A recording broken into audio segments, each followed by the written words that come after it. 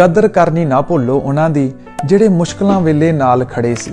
Don't ever forget to appreciate those people that were there for you in hard times.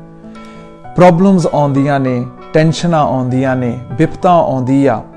ਤਾਂ ਜਿੰਨੀ ਮਰਜ਼ੀ ਵੱਡੀ problem ਆਈ ਹੋਵੇ, ਪਰ ਇਦਾਂ ਦੇ ਬੰਦੇ ਹੁੰਦੇ ਆ ਜ਼ਿੰਦਗੀ ਵਿੱਚ ਕਿ ਆਪਾਂ ਉਹਨਾਂ ਨਾਲ ਬੈਠ ਕੇ ਆਪਣੀ ਦਿਲ ਦੀ ਗੱਲ ਸ਼ੇਅਰ ਕਰ ਲਈਦੀ ਆ। ਜੋ ਸਾਡੇ ਅੰਦਰ ਆ, ਆਪਾਂ ਉਹਨਾਂ ਦੇ ਨਾਲ ਦਿਲ ਦੀਆਂ ਫੀਲਿੰਗਸ ਦੱਸ ਦੀਦੀਆਂ ਆ। There's always that one or two people when times are hard, you can just turn to them and just spill out everything that's inside you. Take things off your chest and tell them everything. ਇਹ ਵੀ ਗੱਲ ਮੰਨ ਲੈਂਦੇ ਆ ਕਿ ਜ਼ਿੰਦਗੀ ਵਿੱਚ ਬੱਚਿਆਂ ਕਰਕੇ, ਪਰਿਵਾਰਾਂ ਕਰਕੇ, ਰਿਸ਼ਤੇਦਾਰਾਂ ਕਰਕੇ ਕਿ ਉਹ ਟਾਈਮ ਹੀ ਨਹੀਂ ਮਿਲਦਾ ਹੈਗਾ ਕਿ ਆਪਾਂ ਉਹਨਾਂ ਦੇ ਨਾਲ ਇੰਨਾ ਬੈਠੀਏ, ਉਠੀਏ, ਕਿਉਂਕਿ ਆਪਣੀ ਡੇ ਟੂ ਡੇ ਰੂਟੀਨ ਵਿੱਚ ਬੰਦਾ ਗਰਸਿਆ ਜਾਂਦਾ ਬਿਜ਼ੀ ਬਹੁਤ ਰਹਿੰਦਾ। ਪਰ ਇਹਦਾ ਮਤਲਬ ਇਹ ਨਹੀਂ ਹੁੰਦਾ ਕਿ ਜਿਹੜਾ ਬੰਦਾ ਤੁਹਾਡੇ ਨਾਲ ਔਖੇ ਵੇਲੇ ਨਾਲ ਸਾਥ ਦਿੰਦਾ ਹੋਵੇ, ਜਿਹੜਾ ਨਾਲ ਖੜਦਾ ਹੋਵੇ, ਕਿ ਉਹਨੂੰ ਭੁੱਲੀ ਜਾਈਏ, ਉਹਦੀ ਕਦਰ ਨਾ ਕਰੀਏ। Just because time you don't have as much to spend with those people that are there with you in times of need or in hard situations when times are hard or bad situations but it doesn't mean that you completely forget them always appreciate them there was a girl and boy ਕੁੜੀ ਮੁੰਡਾ ਸੀ ਤਾਂ ਕੁੜੀ ਕੋਲ ਵੇਖਿਆ ਨਹੀਂ ਜਾਂਦਾ ਸੀ blind ਸੀ ਨੇਤਰਾਂ ਤੋਂ ਹੀਣ ਸੀ the girl was blind ਮੁੰਡਾ ਦਿਨ ਰਾਤ ਉਹਦੀ ਹੈਲਪ ਕਰਿਆ ਕਰੇ ਕੁਝ ਵੀ ਚਾਹੀਦਾ ਹੋਵੇ ਉਹਨੂੰ ਲੈ ਕੇ ਦਿਆ ਕਰੇ ਤਾਂ ਕੁੜੀ ਨੂੰ ਉਹ ਕਿਹਾ ਕਰੇ ਕਿ ਮੇਰੀ ਇੱਕੋ ਹੀ ਡਿਜ਼ਾਇਰ ਆ, ਇੱਕ ਹੀ ਵਿਸ਼ ਆ ਕਿ ਤੂੰ ਮੇਰੇ ਨਾਲ ਵਿਆਹ ਕਰੇ। ਉਹ ਕੁੜੀ ਕਿਹਾ ਕਰੇ, ਜਦੋਂ ਮੈਂ ਵੇਖਣ ਲੱਗ ਗਈ, ਮੇਰੀਆਂ ਅੱਖਾਂ ਠੀਕ ਹੋ ਜਾਣ, ਮੇਰਾ ਆਪਰੇਸ਼ਨ ਹੋ ਜੇ, ਮੈਨੂੰ ਅੱਖਾਂ ਮਿਲ ਜਾਣ, ਤਾਂ ਇਹ ਮੇਰੀ ਪ੍ਰੋਮਿਸ ਆ ਤੇਰੇ ਨਾਲ। ਇਹ ਮੇਰੀ ਇੱਕ ਵਾਅਦਾ ਆ ਤੇਰੇ ਨਾਲ ਕਿ ਮੈਂ ਤੇਰੇ ਨਾਲ ਜ਼ਰੂਰ ਵਿਆਹ ਕਰੂੰਗੀ। ਸੋ ਮੁੰਡੇ ਨੇ ਸੋਚਿਆ, ਕਿਉਂ ਨਾ ਮੈਂ ਡਾਕਟਰਾਂ ਨਾਲ ਗੱਲ ਕਰਕੇ ਸਪੈਸ਼ਲਿਸਟ ਨਾਲ ਗੱਲ ਕਰਕੇ ਕਿ ਇਹਦਾ ਪ੍ਰਾਈਵੇਟ ਹਸਪੀਟਲ ਵਿੱਚ ਇਹਨੂੰ ਲਿਜਾ ਕੇ ਤਾਂ ਇਹਦੀ ਅੱਖਾਂ ਦਾ ਆਪਰੇਸ਼ਨ ਕਰਾਵਾਂ।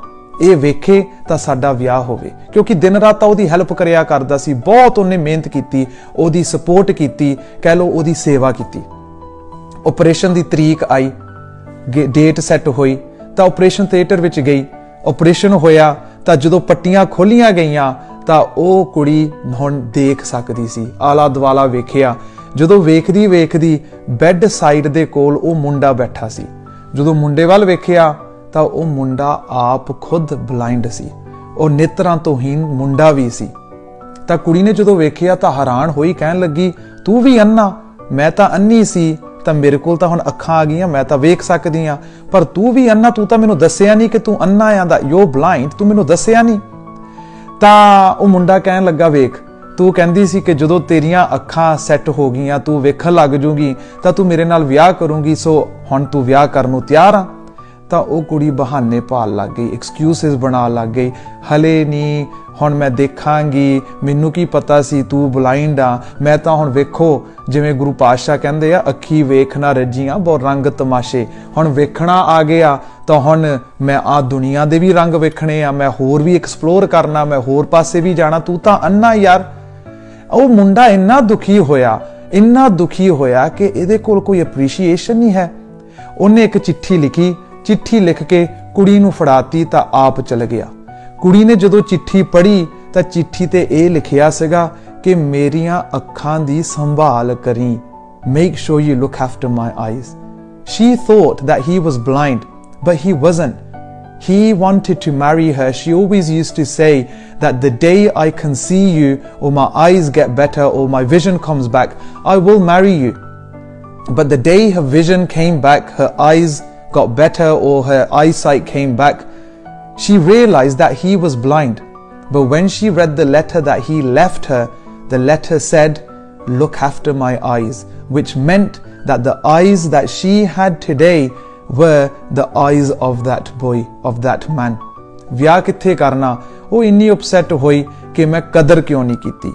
ਕਦੇ ਨਾ ਕਦੇ ਆਪਾਂ ਜਦੋਂ ਕੋਲ ਹੋਈਦਾ ਹਨਾ ਕਿਸੇ ਦੇ ਆਪਾਂ ਭੁੱਲ ਜਾਂਦੇ ਆ ਇਹ ਕਿੰਨਾ ਕਰਦਾ ਮੇਰੇ ਵਾਸਤੇ ਇਹ ਕਿੰਨੀ ਕਰਦੀ ਆ ਮੇਰੇ ਵਾਸਤੇ। ਪਰ ਜਦੋਂ ਸੈਪਰੇਸ਼ਨ ਹੋ ਜਾਂਦੀ ਆ ਫਿਰ ਬੰਦਾ ਸੋਚਦਾ ਯਾਰ ਕਿ ਮੈਂ ਕਦਰ ਨਹੀਂ ਕੀਤੀ ਉਹ ਤਾਂ ਬਹੁਤ ਕਰਦਾ ਸੀ ਉਹ ਤਾਂ ਬਹੁਤ ਕਰਦੀ ਸੀ। ਆਪਾਂ ਜਦੋਂ ਦਿਨ ਚੰਗੇ ਹੁੰਦੇ ਆ, ਆਪਾਂ ਭੁੱਲ ਜਾਂਦੇ ਆ, ਉਹਨਾਂ ਨੂੰ ਜਿਹੜੇ ਦੁੱਖਾਂ ਵੇਲੇ ਨਾਲ ਖੜੇ ਸੀ। ਪਰ ਜਦੋਂ ਦੁੱਖ ਆਉਂਦੇ ਆ, ਫਿਰ ਆਪਾਂ ਭਾਲਦੇ ਆ, ਯਾਰ, ਉਹ ਕਿੱਥੇ ਗਿਆ? ਉਹ ਕਿੱਥੇ ਗਈ? ਪਰ ਦੈਨ ਕੀ ਫਾਇਦਾ? ਉਹ ਆਪਣੇ ਰਾਹ ਤੇ ਤੁਰ ਪੰਦੇ ਆ, ਤੁਸੀਂ ਆਪਣੇ ਰਾਹ ਤੇ ਤੁਰ ਪੰਦੇ ਆ। ਤਾਂ ਕਰਕੇ ਕਿਹਾ ਜਾਂਦਾ, ਕਦਰ ਕਰਨੀ ਨਾ ਭੁੱਲੋ ਉਹਨਾਂ ਦੀ ਜਿਹੜੇ ਮੁਸ਼ਕਲਾਂ ਵੇਲੇ ਨਾਲ ਖੜੇ ਸੀ। Don't forget to appreciate those people that were there for you. In times of hard. Because when you when you don't appreciate them and these times come again because some days are good some days are bad is always going to be like that in life. Life is a roller coaster. You go down and you go up but it's all about experiencing and exploring. But if you forget and you ignore or you push those people away that actually were there for you, when times become hard again, then you will look around, but those people will be nowhere there to be seen. Like that girl, Jimmy Okudi, ਕਹਿੰਦੀ ਸੀ ਕਿ ਮੇਰੀਆਂ ਅੱਖਾਂ ਆਉਣਗੀਆਂ ਤਾਂ ਮੈਂ ਤੇਰੇ ਨਾਲ ਵਿਆਹ ਕਰ ਲਾਂਗੀ ਪਰ ਜਦੋਂ ਵੇਖਿਆ ਆਲਾ ਦਵਾਲਾ ਤਾਂ ਜਦੋਂ ਉਹ ਕਹਿ ਲੋ ਸੈਪਰੇਸ਼ਨ ਹੋ ਗਿਆ ਮੁੰਡਾ ਆਪਣੇ ਰਾਹ ਤੇ ਤੁਰ ਪਿਆ ਤਾਂ ਉਹਨੇ ਜਦੋਂ ਵੇਖਿਆ ਕਹਿਣ ਲੱਗੀ ਕਿ ਯਾਰ ਮੈਂ ਸੋਚਿਆ ਨਹੀਂ ਸੀ ਕਿ ਇੰਨਾ ਪਿਆਰ ਜਿਹੜੀ ਆਪਣੀ ਜ਼ਿੰਦਗੀ ਕਹਿ ਲੋ ਕਿ ਅੱਖਾਂ ਦੇ ਸਕਦਾ ਮੈਨੂੰ, ਉਹ ਕਿੰਨਾ ਪਿਆਰ ਕਰਦਾ ਹੋਏਗਾ। ਜਿਹੜਾ ਕਿਸੇ ਵਾਸਤੇ ਦੁੱਖਾਂ ਵੇਲੇ ਨਾਲ ਖੜ ਸਕਦਾ, ਜਦੋਂ ਸਾਰੀ ਦੁਨੀਆ ਕਹਿ ਰਹੀ ਆ, ਇਹ ਬੰਦਾ ਮਾੜਾ, ਇਹ ਕੁੜੀ ਮਾੜੀ ਆ, ਇਹ ਇਦਾਂ ਦਾ ਆ, ਜਦੋਂ ਰਿਸ਼ਤੇਦਾਰ ਸਾਰੇ ਇੱਕ ਪਾਸੇ ਖੜ ਜਾਣ, ਤਾਂ ਉਹ ਕੱਲਾ ਖੜਾ ਹੋਵੇ, ਤਾਂ ਦੂਜਾ ਨਾਲ ਆ ਕੇ ਖੜ ਜਾਵੇ ਸਪੋਰਟ ਦੇਣ ਵਾਸਤੇ ਮੋਰਲ ਸਪੋਰਟ ਦੇਣ ਵਾਸਤੇ, ਉਹ ਕਿੰਨਾ ਪਿਆਰ ਕਰਦਾ ਹੋਏਗਾ। ਕਦੇ ਨਾ ਕਦੇ ਸੋਚਿਆ ਕਰੋ ਪਿਆਰਿਓ, ਕਦਰ ਕਰਨੀ ਨਾ ਭੁੱਲੋ, ਉਹਨਾਂ ਦੀ ਜਿਹੜੇ ਮੁਸ਼ਕਲਾਂ ਵੇਲੇ ਨਾਲ ਖੜੇ ਸੀ। Don't ever forget to appreciate those people that were there for you when times were hard. ਜੇ ਅੱਜ ਦਾ ਕਲਿੱਪ ਵਧੀਆ ਲੱਗਾ, ਜਰੂਰ ਆਪਣੇ ਮਿੱਤਰ ਦੋਸਤਾਂ ਵਿੱਚ ਸ਼ੇਅਰ ਕਰਿਓ। ਹਰੇਕ ਟਿਊਜ਼ਡੇ ਥਰਸਡੇ ਤਾਂ ਸੈਟਰਡੇ ਯੂਕੇ ਟਾਈਮ 12 ਵਜੇ ਦੁਪਹਿਰ ਨੂੰ ਨਵਾਂ ਨਵਾਂ ਕਲਿੱਪ ਆਉਂਦਾ, ਜਰੂਰ ਸੁਣੋ।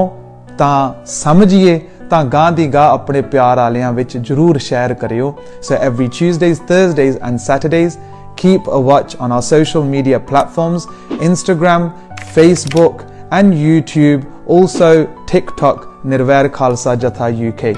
ਜੇ ਸਬਸਕ੍ਰਾਈਬ ਨਹੀਂ ਕੀਤਾ ਜਰੂਰ ਸਾਡੇ ਸੋਸ਼ਲ ਪਲੇਟਫਾਰਮਾਂ ਤੇ ਮੀਡੀਆ ਪਲੇਟਫਾਰਮਾਂ ਤੇ ਸਬਸਕ੍ਰਾਈਬ ਕਰਿਓ। ਆਪ ਜੀ ਦਾ ਧੰਨਵਾਦ। ਕਦਰ ਕਰਨੀ ਨਾ ਭੁੱਲੋ ਉਹਨਾਂ ਦੀ ਜਿਹੜੇ ਮੁਸ਼ਕਲਾਂ ਵੇਲੇ ਨਾਲ ਖੜੇ ਸੀ thank you very much for listening to today's clip